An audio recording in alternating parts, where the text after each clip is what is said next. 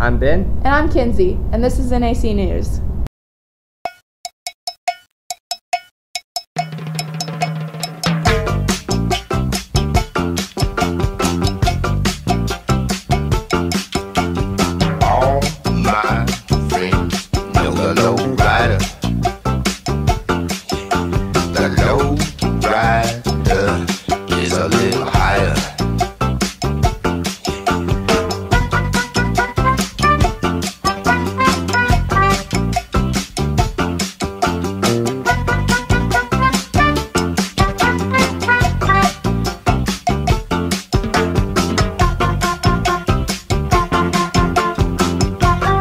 This week at North Andrew, track has been in full swing. Speaking of swing, baseball's started up too.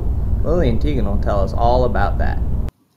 As the end of the school year is approaching, North Andrew has been chugging along. Since Easter was on Sunday, we had no school on Monday.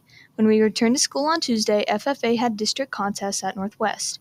Also, it was election day for board members, and the high school track meet got canceled, while high school baseball was postponed. Wednesday, baseball had a game against East Buck, and district ag contest continued. Thursday, there was a high school baseball at St. Joe Christian, and Friday was senior cap and gown photos. The school play is on Saturday, so make sure to come and watch. They're putting on Matilda and have put in a lot of work. We interviewed Ben Roller about how the track season is going. He said, It's been off to a slow start as we have now had two meets canceled due to weather. But from the s- small sample size we've had, I think it's going to be a really successful season. I'm really looking forward to getting back out there and competing. Next week, junior high track has meetings on Monday and on Thursday, while high school track has meets on Tuesday and Friday. High school baseball has a game on Monday and a game at Albany on Thursday. Lastly, there will be a high school Scholar Bowl district tournament at Mound City on Saturday the 13th. Have a great weekend, Cardinals. I've been busy all week making a chocolate cake. Not a real one though, it's a fake one for the school play. Maddie and Tucker have a story about that.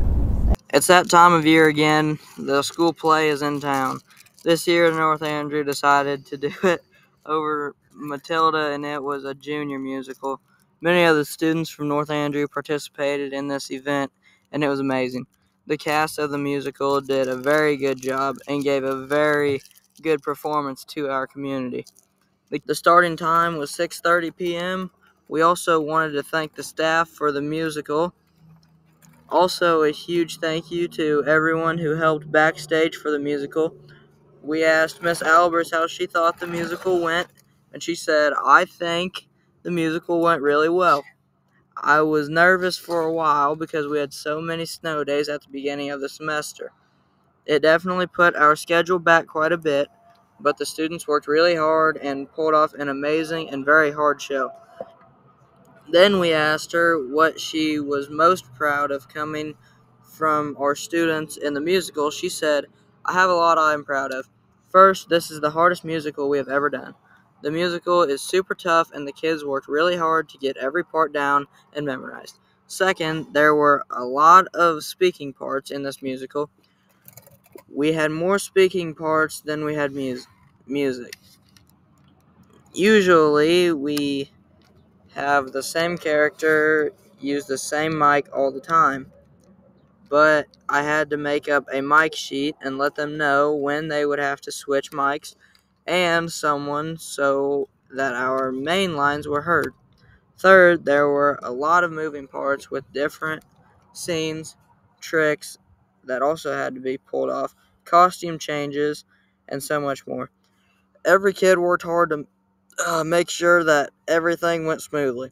Fourth, we had quite a few new people who had never performed in a musical slash play before. A couple of them even had some very big parts. I am so proud of our new actors and actresses. Last of all, the students who put in extra work outside of rehearsals. We had parents and students who made all the letters that were hung around the stage for us. We had parents and students who made our dummy for the Amanda Thripp scene, and even a student who made our cake trick as well. We had a lot of help from parents and students so that Miss Wheeler and I could focus on other stuff as well. We couldn't have done it without them. There's going to be a bunch of crying going on at North Andrew next week. But it's not the students this time, it's the babies. FACS babies are back. Ashton and Trinity have got a story on that.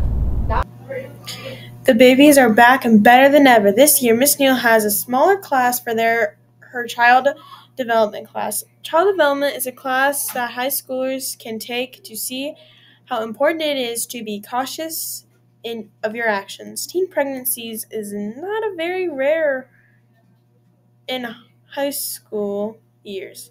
These babies show these young adults why it is important not to have children at this young age. Children are very expensive and need a lot of care, of care, and that is what most teens do not realize. These real care babies cry, burp, and sense so many things like a normal baby would.